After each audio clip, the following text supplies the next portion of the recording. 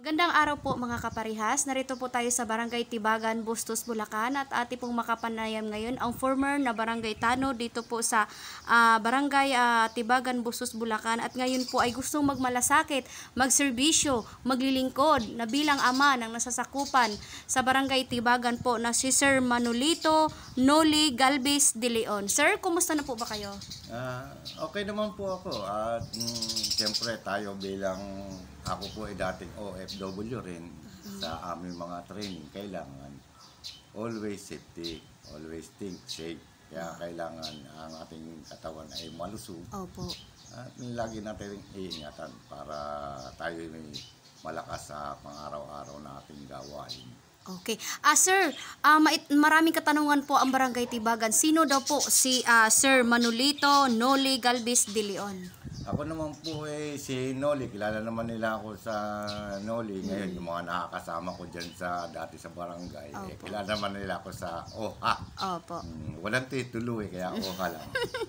Ah, ako po ay anak ni Magno de Leon na tubong tibagan din na naglingkod din bilang kunsehal ng bayan nung araw at naging kapitan din po ng barangay ng Tibagan.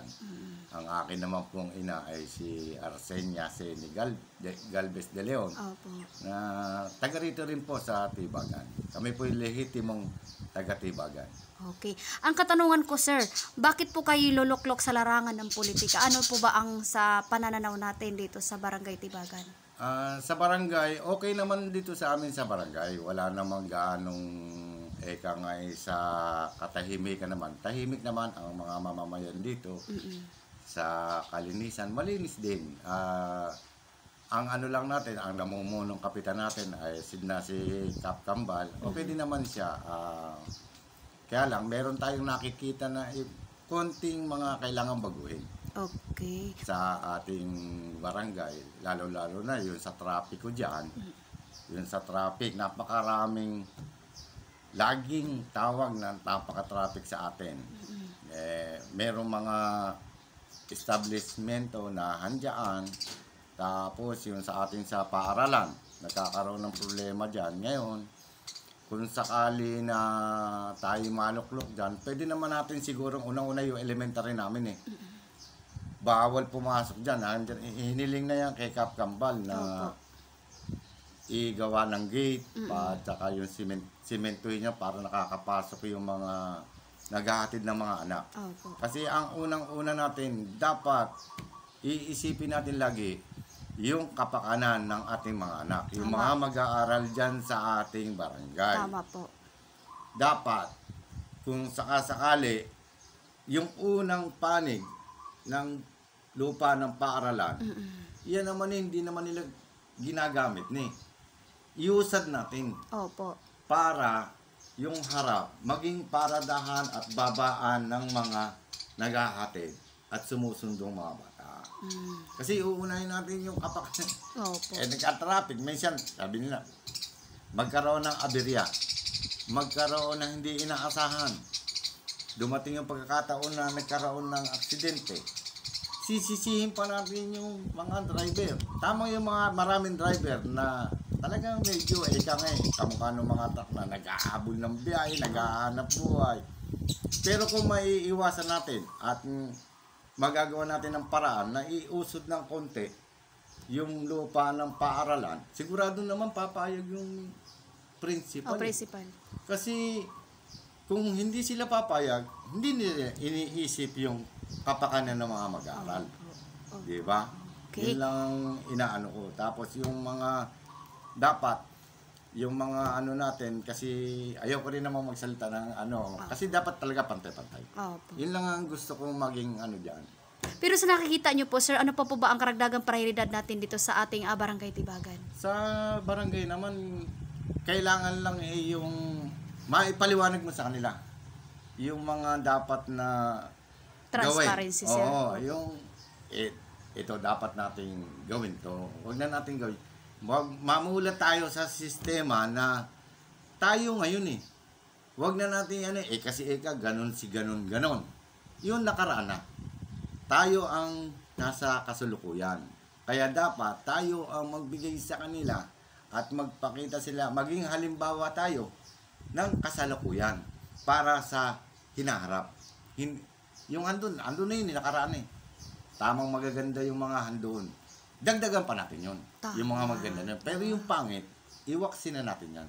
Dito tayo sa kasalukuyan para sa kinabukasan. Ganun lang. Okay. Ah, sir, ah, minsahe na lang po sa ating mga minamahal na kabarangay. Mm, sa mga kabarangay ko dito sa Tibagan, at andito po ako at gusto ko po maglingkod sa inyo. Maraming salamat po sa inyo.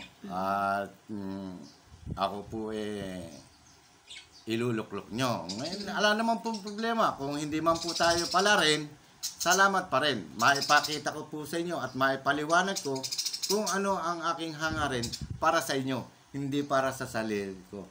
Kasi po ako, kahit ganito lang ako, nagta-tricycle, ganyan-ganyan lang, eh at least ako po ay kumikita naman ng sapat para sa pamilya. Kaya lang po, eh nakikita ko po sa inyo, sa atin, na mayroong pagkukulang. Kaya gusto ko pong punan at ipaliwanag sa inyo, ipakita sa inyo kung ano ang barangay para sa mamamayan. Kung ano ang Wow. halaga nyo. Opo. At kung ano ang dapat ibigay sa inyo ng barangay. At kung paano rin tumulong kayo sa barangay. Hindi yung laging kailangan puro barangay na lang. Dapat maipaliwanag sa kanila na meron din silang obligasyon para tumulong sa barangay. Marami pong maitutulong sila unang-una sa loob ng pamayanan. Maituro po nila yung tamang asal sa mga anak, yung mga kasama nila sa bahay. Pangalawa po yung mga basura. Tama ka. Paliwanag nila. At tayo po, ang basura, hindi tayo babaho. Kung, at hindi rin tayo dudumi. Kung nasa tama po yan. Tama kayo. Yung pong bibili tayo ng ulam. Di ba? Nasa plastic po yan. Mm. Luglugan po natin yung plastic. Isabit po natin. Ayan po yung pag natiyo, pwede nyo ilagay sa isang supot. Hindi po tayo amoy. Yung mga tirang pagkain na ano, ala pa tayong kapitbahay na mayroong hayop. O tayo mismo. Ilagay natin dyan. O hindi naman, luglugan po natin yan. Ilagay natin sa isang supot. O kaya ibilad natin, hindi aamoy yan. Sa tamang pagpapaliwanag lang po. Yan lang po at mm, marami pa pong ano, ay may naman paliwanag kayo ng paliwanag, hindi naman po natin kayo tuparin.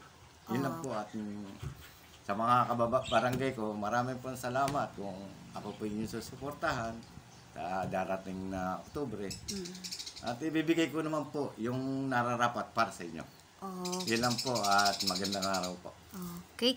Yan po ang kumbaga ang magandang mensahe ng ating ah, butihing maglilingkod at magsiservisyo at magmamalasakit dito po sa Barangay Tibagan, Bustos, Bulacan na si Sir Manolito Noli Galvis de Leon. Okay, magandang araw po mga kaparehas at lalo na po sa mga taga Barangay Tibagan at lalo na po sa inyo sir, in your family po.